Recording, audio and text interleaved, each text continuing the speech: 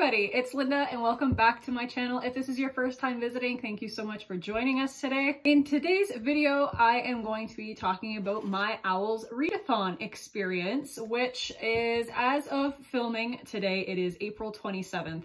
So there are still three days left in the Owls Readathon at this moment, but I have finished all of the books that I had planned to read for the readathon. And because of that, I figured I would do a little bit of a recap and tell you guys about how that went for me. For those that don't know, the Owls Readathon is a reading event hosted by Book Roast here on YouTube, and it happens during the month of April. It is themed around the Owls examinations that the students take at Hogwarts in the Harry Potter series. And it's just an awesome reading event that brings together the book community. They host events throughout the Readathon that people can participate in on Twitter and on Instagram, and it's just, it's a great time. It's something to look forward to every year. Um, and especially right now with the way the world is, it was a perfect little escape from everything and really got me motivated to read more, which was awesome. During the entire month of April, uh, so far, I have read seven books, but I should be finishing an eighth one before the month ends. But for the Owls Readathon, I ended up reading six books. If you guys watched my Owls TBR video, I um, had only planned to read five books, but I finished those by mid-April, which was super quick for me. But I figured that it would be worthwhile to pick up another book that I had been wanting to read anyway. I made it work for one of the prompts in the Owls Readathon. So because I had finished all the prompts for my particular career path that I had chosen, I figured I would do something that would pair up with one of the seminar options that she had also had in the readathon. I wanted to do something history of magic related, so the seminar that had that as an option was um, the Legal Defense of Fantastic Beasts seminar. And for that, you needed owls in Care of Magical Creatures and History of Magic. And I had already done Care of Magical Creatures for my career path. So the only extra one I needed to do was History of Magic. And the prompt for that one was Witch Hunts, a book featuring witches and wizards. And I had anyways wanted to reread Harry Potter and the Order of the Phoenix. So that is what I ended up reading. Quite the beefy book as well. This was the longest one I read this month. Um, it has 766 pages, but I love this book. Honestly, one of my favorites in the Harry Potter series. And um, this was my first reread of the series because contrary to a lot of other people who grew up with Harry Potter, I did not. So the first time I read Harry Potter was only like three or four years ago. Right after I had finished reading the Harry Potter series for the first time, I started rereading it slowly, kind of like in between other books that I would pick up one of the Harry Potter books. So I was up to Order of the Phoenix and I had meant to start reading this one a while ago already, but this was the perfect opportunity to start rereading it. What I have been doing in my rereads of the Harry Potter series is that I've annotated them as I go along, just making, you can see one right there, just making little notes about different things as I think of them just in the margins here. And I feel like when I annotate or make notes or things like that, I remember the story a lot more. And because of how much detail is in the Harry Potter books that are interconnected with the entire series, uh, I've been taking my time and reading the rereads a little bit slower just so I can get more of the information and remember them a little bit better. My goodness, someone's got the zoomies. Who's got the zoomies? Who's coming in here? My dog just flew in here. Um, but anyways, so had a great time rereading um, Order of the Phoenix. Always great to hate Umbridge because she is the character everyone in the Harry Potter community can mutually agree on that is the worst character in the entire series. Everyone loves to hate her. So always a great time. the other books that I read was Fangirl by Rainbow Rowell. Absolutely love this book. Super, super cute. Really nice, kind of quick read. I actually read this one in like two days.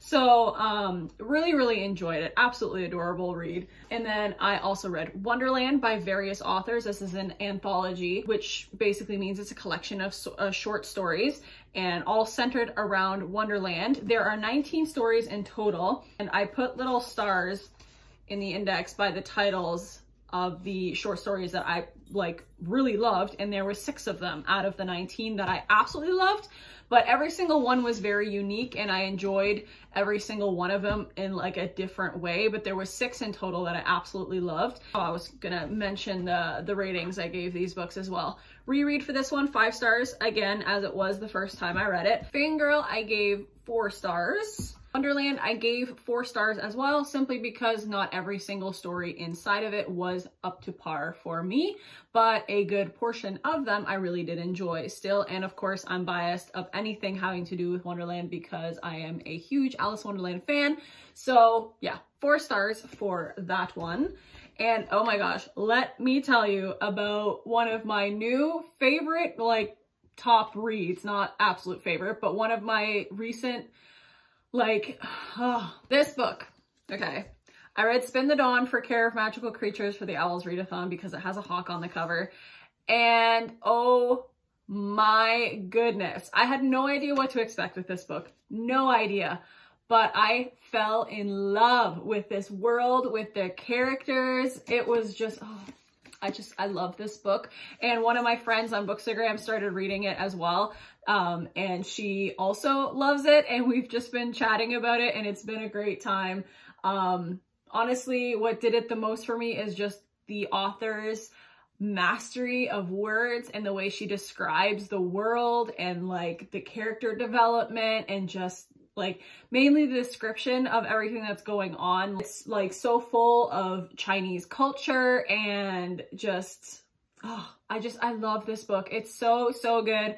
Highly recommend you guys read this if you're into YA fantasy, but it is just, oh, I, I just, I love it. I absolutely love it. Definitely my favorite read in the Owls Readathon, and I obviously gave this one five stars. So the other ones I read was Mortal Engines by Philip Reeve. This one unfortunately got three stars. And for me, three stars is a very low rating. You guys can check out my Goodreads if you want to see how I rate books, but it's just, oh, this, this book, I really wanted to love it. I really did, but it just fell really flat for me. Like, and that's the thing, the, the writing style was very flat in my opinion.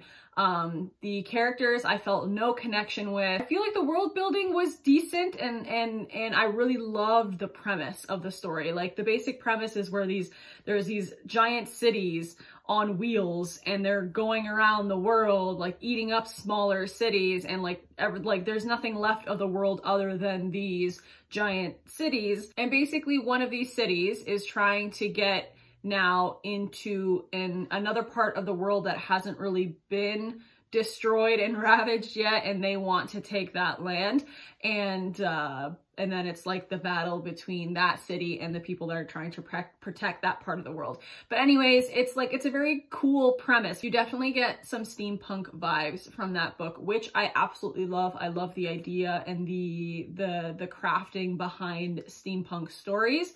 But this one just, I felt nothing for the characters.